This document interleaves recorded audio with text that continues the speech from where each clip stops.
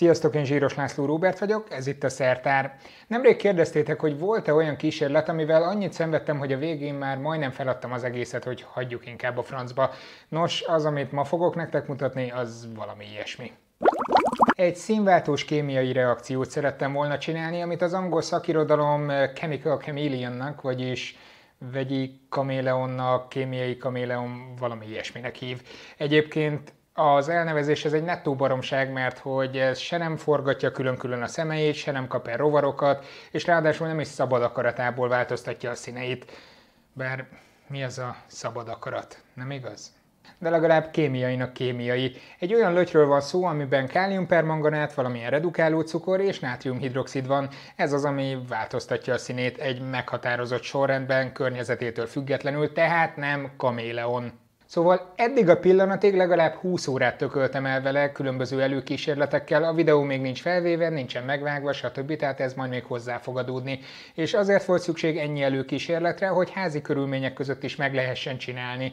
Ugyanis tudom, hogy az lesz az első kérdésetek, hogy hogyan lehet pontosan kimérni a mennyiségeket úgy, hogy nincs otthon labormérlegetek, mit hol lehet beszerezni, meg ilyenek. Úgyhogy ebben a videóban szeretném nektek megmutatni, hogy milyen buktatói vannak ennek a kémiai kísérletnek, és megpróbálom megpróbálom azt is elmondani, hogy hogyan tudjátok elkerülni ezeket. Egyébként szerencsére a mennyiségeknek nem kell egetverően pontosnak lenniük. Először is szükségetek lesz káliumpermanganátra. Tudom, hogy ez a szűk keresztmetszet, mert ez az, amit a legnehezebben lehet beszerezni. Én lomoltam itthon és találtam egy kis dobozzal még ezer évvel ezelőttről. Az urándúsító centrifuga mögé volt beesve. Jó, hát megesik az ilyesmi, nem? Elvileg régebben lehet egy gyógyszertárban kapni, most már úgy tudom, hogy nem. De ha mégis, akkor leginkább arra felé kell körülnézni. Vagy ha van olyan ismerősötök, aki kokaint állít elő, akkor neki biztos, hogy van, és tőle tudtok kérni, ugyanis szükséges a gyártáshoz. Ezt nem tőlem hallottátok. Másodszor szükségetek lesz desztillált vízre, vagy ioncserélt vízre. Én először sima csapvízzel próbálkoztam, tehát legalább 10-15 litert elpancsoltam, és mindig csak egy ronda barna szmötyi lett belőle. Nagyon fontos, nem tudom, hogy nálatok milyen a csapvíz, ne csapvizet használjatok, hanem desztillált vizet, vagy ioncserélt vizet. Most nem megyek bele a különbségbe, mind a kettő jó.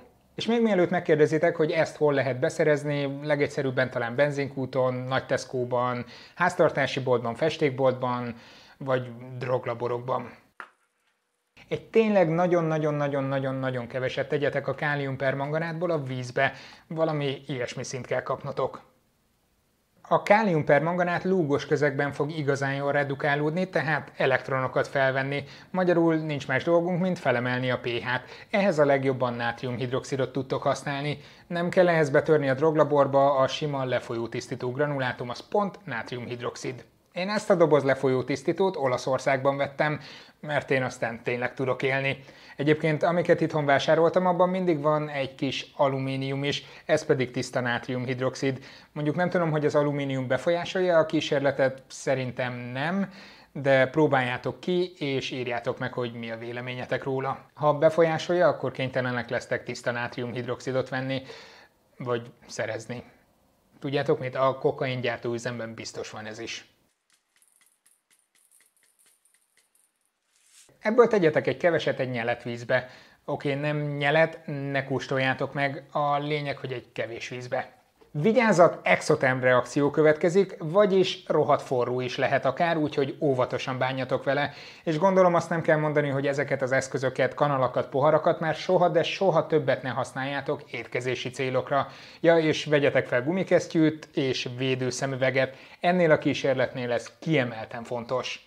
De komolyan, ha mégis a szemetekbe menne, akkor azonnal rohanjatok a fürdőszobába, és 10-15 percig folyóvízben folyamatosan öblögessétek a szemeteket, de a legjobb, ha nem megy a szemetekbe egyáltalán. És most jön az utolsó hozzávaló, ami a permanganátot redukálni fogja, ez pedig egy redukáló cukor lesz. Ezek azok a cukrok, amelyek szabad keto vagy aldehid csoportot tartalmaznak, de mondjuk ezt úgyse fogjátok látni ránézésre, úgyhogy ez tök mindegy. Lényegében minden olyan monoszaharid használható, ami a környezetetekben előfordul, például gyümölcscukor vagy szőlőcukor. Ezeket lehet kapni bármelyik nagyáruházban, Viszont ha ne adj Isten csak homeopátiás bogyóitok vannak otthon, az is tökéletes lesz, az ugyanis szintiszta laktóz, semmi más nem tartalmaz, és remélhetőleg a víz memóriája nem fogja befolyásolni a redox reakciót.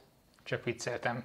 Nem, nem vicceltem, tényleg laktóz, és nem, nem fogja befolyásolni. De még mielőtt hanyat homlok rohannátok az osamba, hogy szőlőcukrot vagy gyümölcscukrot vegyetek, Igazság szerint kipróbáltam, és működik szaharózzal, vagyis répacukorral, vagyis kristálycukorral is.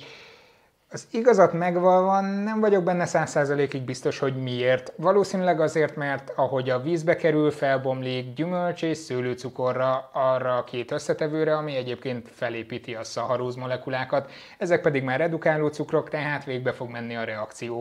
Oké, okay, ezen a ponton még vannak megértésbeli problémáim, úgyhogy működik, az biztos, de hogy miért, abban nem vagyok száz százalékig biztos. Ha ti tudjátok, akkor írjátok meg kommentben, meg fogom köszönni. A cukorból tegyetek egy keveset a nátriumhidroxid oldatba, majd pedig töltsétek fel az egészet még egy kis vízzel, mondjuk olyan 3-4 decire. Ha két folyadékot ezután összeöntitek, tadám, itt a kaméleon. Persze olyan megszorításokkal kaméleon, mint amilyeneket a videó elején mondtam. De nézzük, mi történik. A kálium per manganát vízben oldva lila, vagy rózsaszín, vagy ibolya, vagy magenta, vagy mit tudom én, szóval nekem ez lila. Aztán a permanganát manganát ionnál redukálódik, ami zöld. Persze először a lila és a zöld az együtt van jelen, úgyhogy ennek a keverékét látjátok, ami ilyen kékes izé de aztán csak kizöldül. A zöldnél azonban nem állunk meg, ugyanis a manganátion tovább redukálódik, és mangándioxid lesz belőle, ez pedig barna színű oké, okay, jól kihigítva, ilyen sárgás szmötyi. Őszintén szólva elég sok kérdőjel van bennem ezzel a kísérlettel kapcsolatban, úgyhogy bármilyen pontosítást megköszönök oda lenne a kommentekben, úgyhogy ne vegyétek készpénznek azt a magyarázatot, amit itt elmondtam. A következő kísérletes videó egész biztos, hogy fizikával lesz kapcsolatos, és most megyek, kitakarítok a konyhában. Sziasztok!